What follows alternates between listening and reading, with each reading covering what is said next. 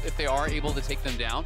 And with Yuumi taken off the table, Maokai banned out, uh, Caitlyn does seem like an obvious answer. Do you think Comp is, is one willing to go to a Draven? Is he comfortable to play that? Well, so that was actually the one champion he didn't play in uh, summer. Often he was more of the Kalista Lucian end and Yeah. just left the Draven through. Uh, so I'm curious as to what direction they go because we know that this bot lane will look to try and go all in, but it's it's tough to say what direction they'll take. They could they could do a Jinx Lulu answer. Yeah. If they want to try and match Oh. range for Oh. range. What about Ezreal? This this this feels like FF the lane and start roaming, right? Like, Yeah. If, if you're gonna go Ezreal, I'm expecting it to be roamers. The other option is you can go something like Ezreal Karma. If you want to play heavily for the lane, that is your other option. So they're actually going for this. So I take it back. Uh, when I first saw the Ezreal coming through, I was I was thinking it was just gonna be Trymbi playing like Rakan or whatever and roam the map and just say, all right, we're gonna get stuff done elsewhere. Okay. But this is playing for the 2v2. When you go Karma, you likely are gonna go You're gonna go Scorch, you're gonna go heavy for that poke here, and then it's really just down to execution. How much of that poke can you land? Because Ezreal Karma can be unstoppable, can be so oppressive, or it can be useless. It's really down how many skill shots you're gonna hit. So we talked about it earlier. When I think of comp, there are certain champions that do resonate with him, and Ezreal is actually one of his comfort. It's one of his most played throughout his entire career in the LEC. So Rogue have tried to go a little bit more towards comfort while also giving themselves a powerful two versus two.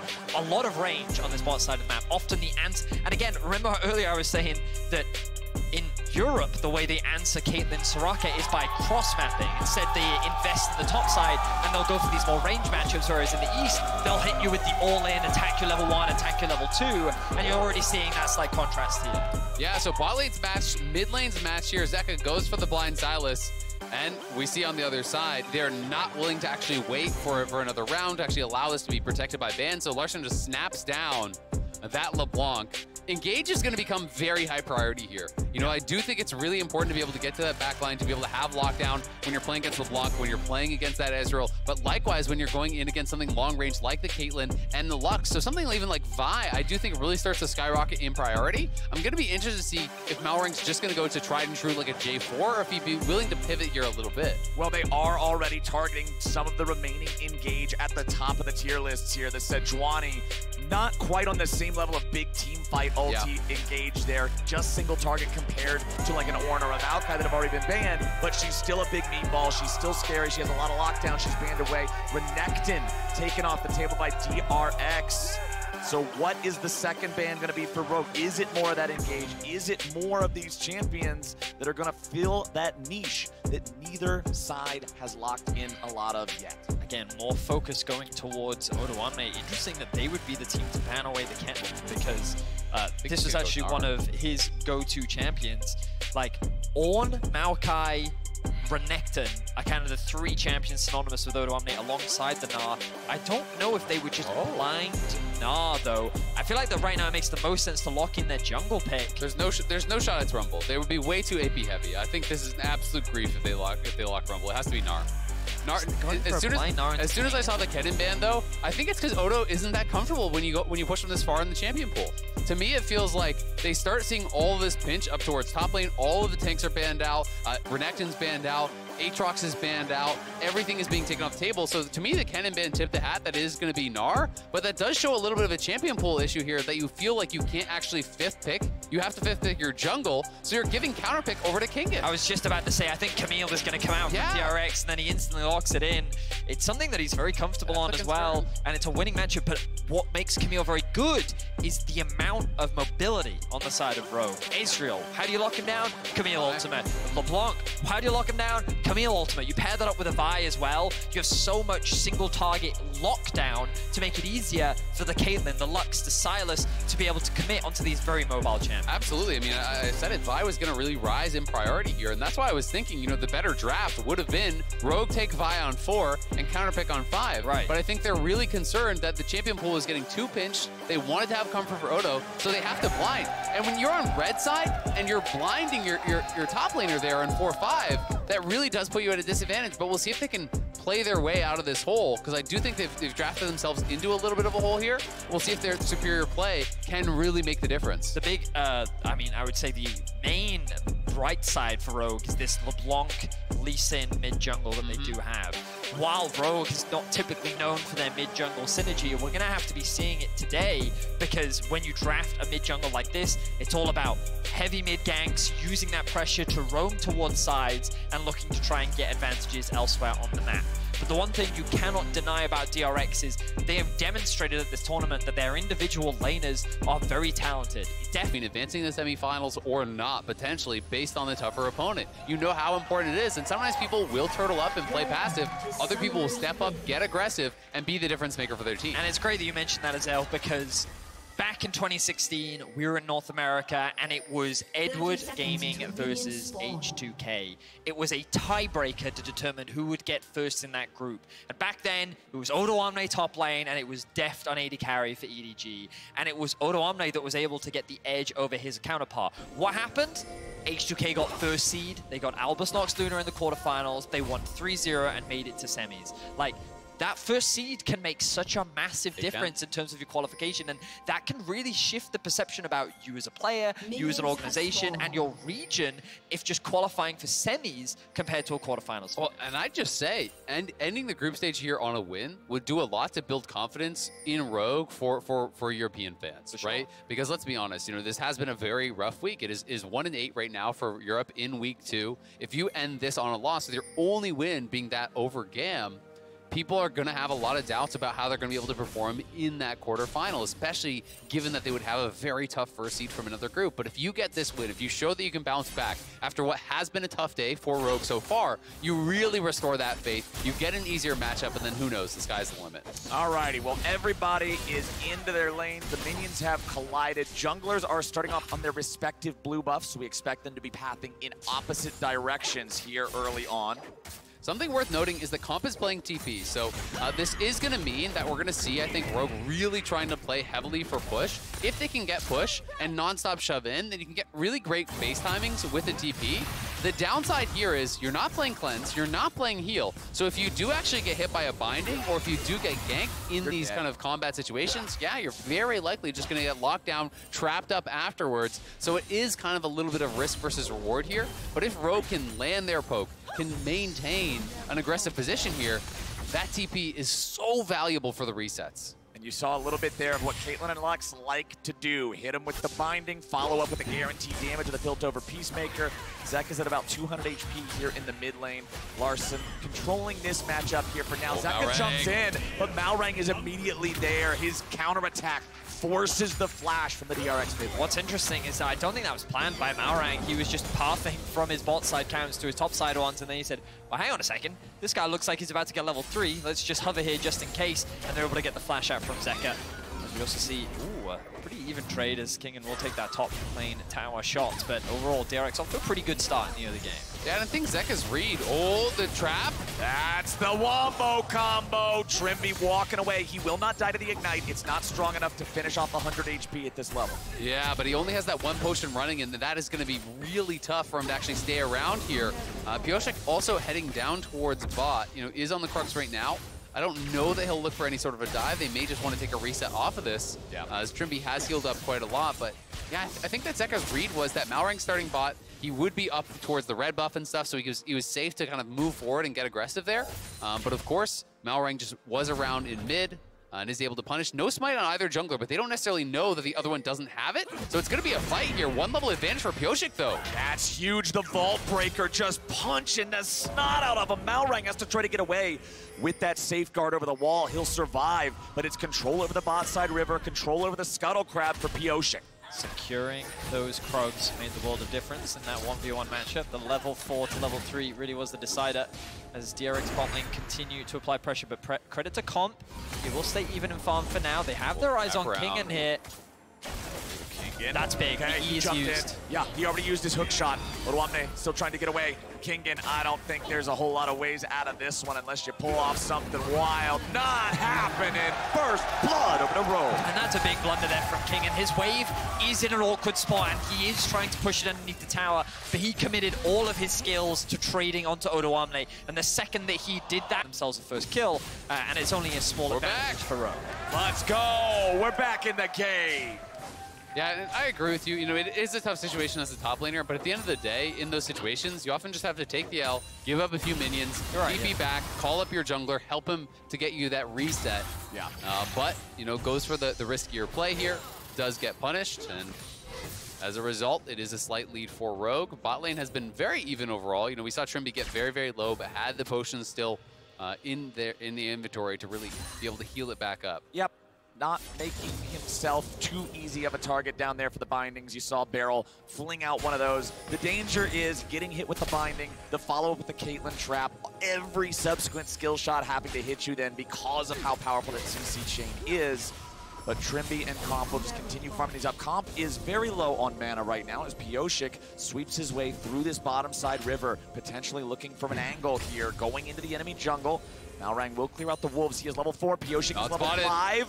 Vault Breaker charging up, and Pyosik just turns it right back around on a Malrang, who lands his Sonic Wave, but will not take the cue. His mind's telling him no, and his body's telling him no. yeah, Zeka cheating down toward that bottom side as well would have been a really risky move to go. You can see Odo much better buy as a result, has the Hearthbound Axe, uh, got the boots as well, so more expensive item, has the boots on top. Uh, compared to really just the sheen on the other side. Uh, like the early recall there from Deft, you don't want to get trapped too heavily in these lanes against TP bot laners. You need to take the early recalls when that opportunity presents itself. Uh, because if you stick around too long and you get pushed in and they're able to actually go back to base, TP back, they can sometimes keep you really locked under your tower. Uh, so a good timing on the reset from Deft, not really going to lose much of anything. And Pyosik again hanging around on this bottom side. They have spotted Malrang as well as Trymbi. Remember, both these junglers are level 5, soon to be 6, and for Vi especially, it makes it so easy to just point and click, go in, make these plays happen. Panning back up in the top side here, you can see Kingen trying to fight back against Odoamne, but the power of the range continuing to be the advantage for the Gnar, like what you talked about, Isaac. And it's kind of that move speed diff, right? Because a lot of where Gnar actually wins the trades is on the back end of the trade. Camille hook shots forward, you know, gets the Q3, has the passive up, and then it's really, oh, nice slow binding. Uh, not quite enough to get the kill. The net didn't connect, so you don't get the extra headshot there at the end. And Beryl didn't use the Ignite. If Beryl actually got the Ignite down on comp, you have to think he's back to base at the very least, uh, but does hold on to it. And now Malrang again down here covering the lanes. Just a little bit of trading here in the mid lane as well. As you can see, Larssen, half HP, but he's all right. Has his lost chapter. The buy from Zeka wasn't quite good enough to be able to get himself a lost chapter earlier as well. But down here in bottom lane, it's Trymbi and Comp still just stuck underneath this turret. This is the reality of so many matchups into Caitlyn and Lux. This is where Caitlyn and Lux want to be a very different look compared to the game where we saw this go up against the Draven and the Blitzcrank that just demolished it. And Oh. okay, what do you got? Look at this. Okay, so they pinged out the ward. He knows the ward's in the side brush. So Pyosik is wrapping around it. They tracked where Odoamne dropped the ward. They're going to look for the all-in on the mini Gnar. Here we go. What Where are we going? No, we're not. Here we go. Right back into the of river. Walk in the lane, Yeah. look at him. Arona's like, hello. Coach says, hello. And then uh, both will part ways. I think one of the scariest things is that they don't have full information as to where Malrang is right now. You can see pings right now coming down onto the Raptors because they believe that he might be there. Larssen needs to go back to base. This is a very big window for T-Rex to try and force something, but Odoamne gets a good trade at top. So now he's going to clear out this wave, and Rogue is going to say, we're probably strong enough to contest this Herald, and I feel like that they know that it's going on. Malrang has information. He's going to come over the wall. Here we go. Larssen's not here, though, and Kingen has TP, so this would be a very risky contest. Still at 2,000 HP. Eyeball gets proc there. DRX playing this Yep. very, very patiently. One more eyeball proc. There it is. Punch it. Pick up the eye. DRX. Get it. Get out. And I gotta give credit to Odo, because he never had vision on the Vive, who was looking for that wraparound gank, but he's playing far enough back in the lane, he had the read that he could be in danger there. Yeah. You know, kind of inferred that it could be happening, and uh, just based on the fact that, as you said, they don't know where Malrang is, Betty, and he's pretty far back to the tower, so he could still hop and flash towards that tower, even if you go for that ulti on Vi, if you get pulled into the turret, you're gonna be in trouble. eyes as well on what the junglers are up to.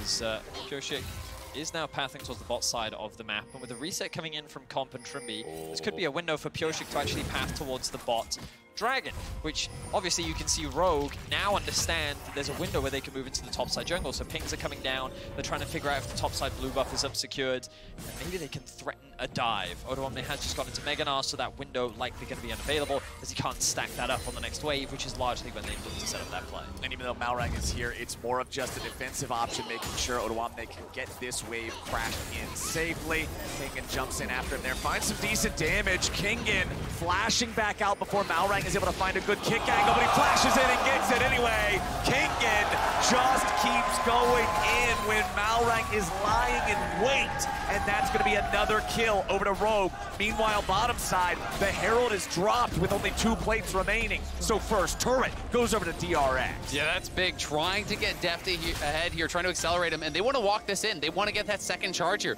That is why Pyosik is actually posturing so aggressively. We'll see if they can actually do it. Not going to be able to, it looks like, because it's getting very low. Yep, there it went, popped.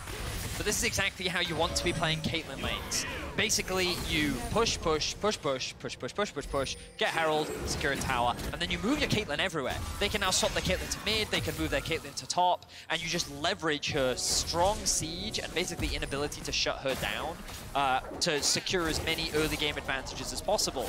This is often why many teams, uh, like the LPL and the LCK, would draft like Leona, they would draft Blitzcrank, because the only way that you can stop this ranged matchup is to be able to engage and shut it down. And this is just, again, great great timing here from, from Malrang. He's in the right place, right time, looks for the kick flash, you know, catches up the slowdown from the boomerang there, able to give another kill over to Odo, excuse me, an assist there, has the one kill prior, but did pick up plates, and he's already on his Triforce. Look at Kingen, he's so far away from the Mythic, so Malrang really has been the difference maker in this one. And talking about Mythics, when that turret was taken bottom, it was Deft getting on. the money. Kingen's in trouble. They just pop him. They drop him. It's Odoamne grabbing the kill. But now, what else is going to happen? DRX, oh! they strike right back. They get two. We'll see if they continue now. Larssen going to be pushed back here. DRX was in position to go for this. Nice sidestep from Larssen, though. Will oh, get safety or will it? Both got binded. Nicely done, but the follow-up isn't there from anybody else, so Larssen gets away. It was a nice explosion on onto Kingen to start it off, but DRX was ready to hit right back. Really, it was a mid-diff. Like, Larssen went over the wall and then left, whereas Zeka went over the wall and committed. He was full-on committed to this team fight, and he is the reason why DRX walk away with two kills. Now DRX find themselves with the gold lead, even though Rogue leading kills. And this will buy a little bit of time here, you know, for Kingen to go down towards bot, try to collect some farm. Uh, we'll see if he can kind of farm himself back into this game, but great poke there onto Deft. Uh, will land the ulti back on the comp, but uh, Deft is going to be set back to base here. He's getting very, very low and uh, can't really afford to continue staying around. Yeah, they're going to try to interrupt his back if they can. You can see both Comp and Trymbi stepping up, but they can't go any closer to the turret. Deft made sure we got back far enough. Malrang hanging around to see if maybe there's a blue buff to be taken away. Q timing is just a little bit slow there.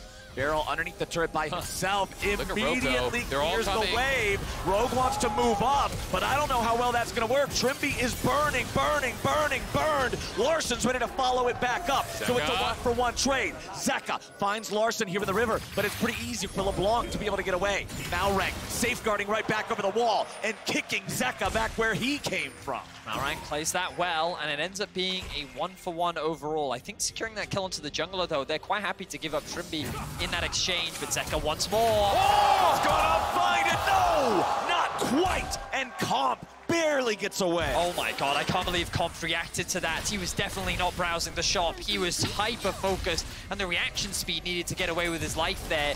Good play from Zeka, but a better one from Comp. Yeah, it is the trade of flashes at the end of the day, but that delayed base. The problem here is that DRX has way more tempo. They're getting a lot done. You, you look at the map, top lane has to be answered by LeBlanc, so what happens mid?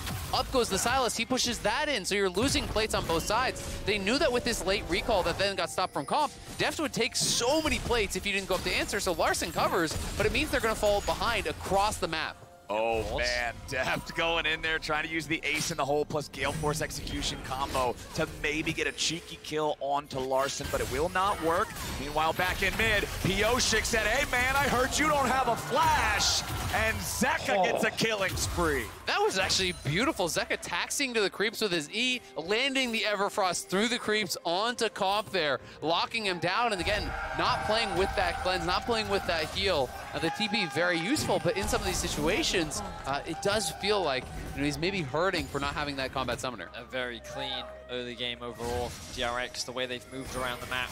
The advantages that they've been able to secure, they're setting up for this Drake. A bit of a late first Drake overall, but let's have a look back at this play. Ah, Uh-oh. Comp just uses E to get back into lane. And it's just, it's that easy. Yeah. You highlighted it. He used the E onto the minion to help close the gap, locked him down with the Everfrost. The chain CC was perfect, but this is something that Rogue is going to have to deal with later on. We talked about the single target lockdown that exists for DRX, and it's only going to get more and more dangerous as the game progresses. And, and that's one of those things where it's honestly just a mental error, right? Like, you're using that E to get, what, one minion, right? You know, get to lane faster even. Like yeah, it's, it, it, it's just one of those situations where it's just not going to be worth it, right? But it, but it is something that's very easy to do, where you just want to use your gap closer, you get back in, uh, but DRX punish immediately off that one thing. If he just walked up, he would have the E to get back to the tower, it would be no problem. It's pretty much the opposite of what you were talking about with the reaction time topside where he used the flash to escape the death to Sylas. There, he's completely focused. He's completely aware of the state of things around him. Here in mid lane, that lapse for a second ends up costing mm-hmm. him with the E being down. And DRX have a three-man push here in mid, trying to take down this tier one turret, grab themselves a second turret for the game. Looks like Rogue's not going to have a lot to say about it as the minions can do enough damage to take it out. You can see four Rogue players around the area, two in the lane, two off to the side there in the jungle. You have to think that if the turret didn't go down quite as fast, they might have tried to make some sort of a play there, but it just doesn't happen. And now it's DRX controlling the river with a second Rift Herald spawned. Absolutely. Still something working well, though, for Rogue, as Odo is quite a bit ahead, you know, does have the tier 2 boots, uh, has a kill gem on top of what his opponent has. They are matched now in Mythics, but Odo going to be feeling good in that 1v1, and if they could get him some vision, he can threaten this tier 1 tower. I think that Rogue is aware that they are up on this Herald, so we'll see if Odo can get some pressure down on that bottom side uh, and look to really kind of exploit that advantage that him and Malrang were able to build.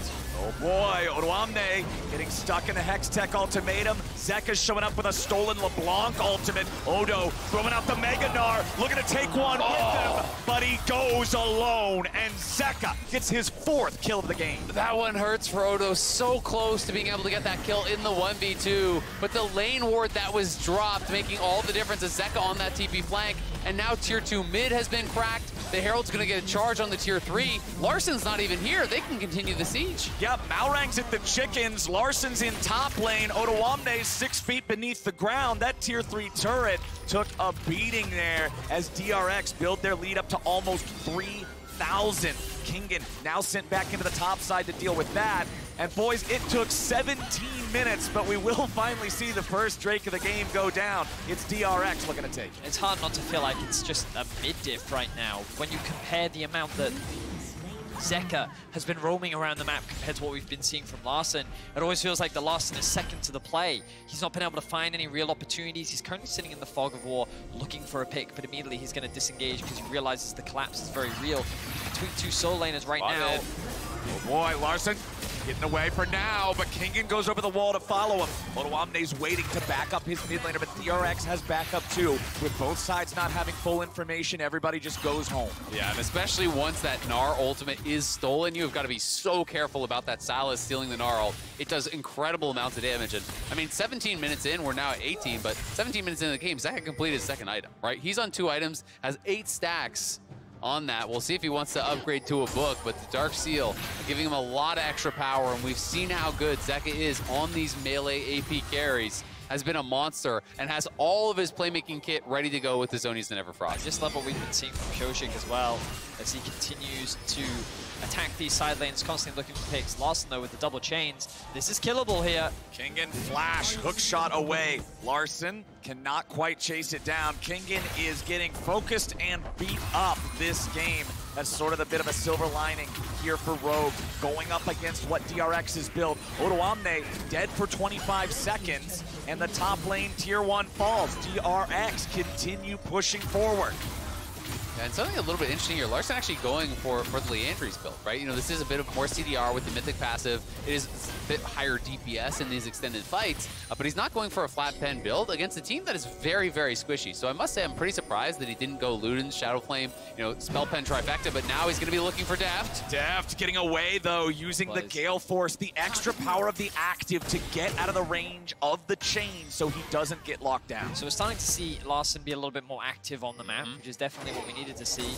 And now we see this gank up towards the top side of the map. And just this repeated attack on the side lanes is just, it's so clean from DRX. Pyosik, he has his ultimate and he knows that if he works with Kingen or he works with Zeka, it's very easy for them to get kills. And this is what we talked about, this single target lockdown. I was more worried about it later on into the fights, but Rogue don't get to leverage their mobility, and once again, they find themselves in a position where they're just losing the game.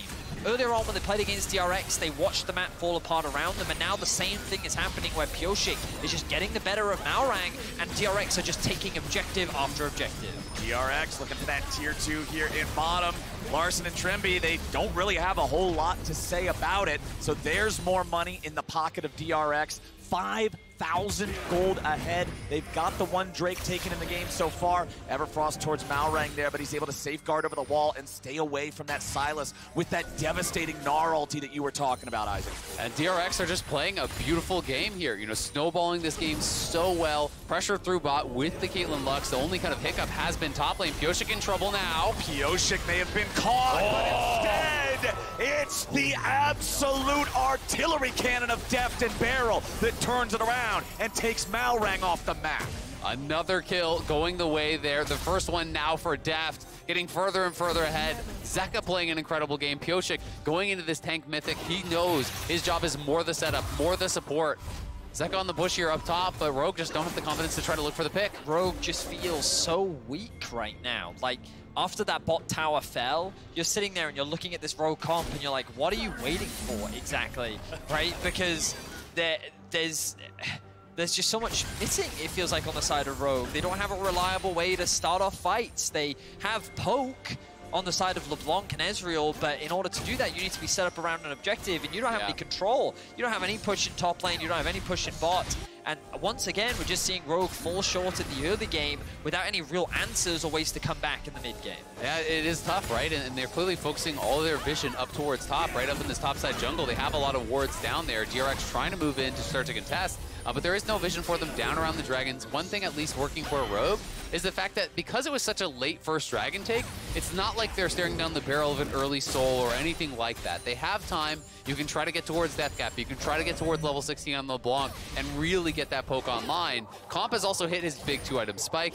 Caitlyn, though, pushing towards IE, which is very, very scary. And we'll see if DRX can find a pick here. Odoamne on the front, soaking up the bullets. Deft firing them off. Gale Force in, Net out. Headshot goes through. Ace in the hole blocked by Comp, but Odoamne now can't fight. That's your frontliner, that's your team fighter, that's your engage, and he's got to go back and heal. So DRX, off of some aggressive shooting there from Deft, they're going to get their TP first playing. inhibitor. Rogue's going to try to find it here. Odo almost has Mega Gnar. They're going. They're ready to look for it, but Malrang's the one who's been found. DRX shut that down. It's just clean from DRX. They don't even go for the 5v5. They're constantly looking for picks, and Rogue is giving it to them. DRX are so good at finding these windows of opportunity, and they found it. Oh, there's the Mega Gnar ulti coming out from Zeka as Larssen stuck in the Hextech ultimatum, and Pyosik kills him next. Odoamne tries to get back with the flashback over the wall, but DRX get four more bodies.